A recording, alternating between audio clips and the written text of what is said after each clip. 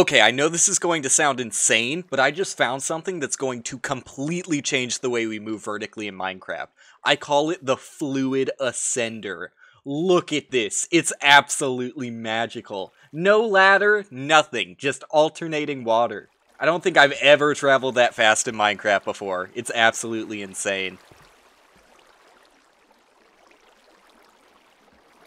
It's a pretty simple premise, honestly. It works with either ladders or signposts. Ladders are obviously a bit cheaper and easier to build with because they stack in your inventory, but all you do is build a structure like this, move up to the top, place your water, and then alternate in between the ladders or signposts with blocks to keep the current flowing. You go straight up it like lightning. I wanted to get this video out as soon as I discovered this, but unfortunately all these leaves from the trees I chopped down earlier were really messing up my shot. I wanted to give them some time to decay, but it ended up taking too long.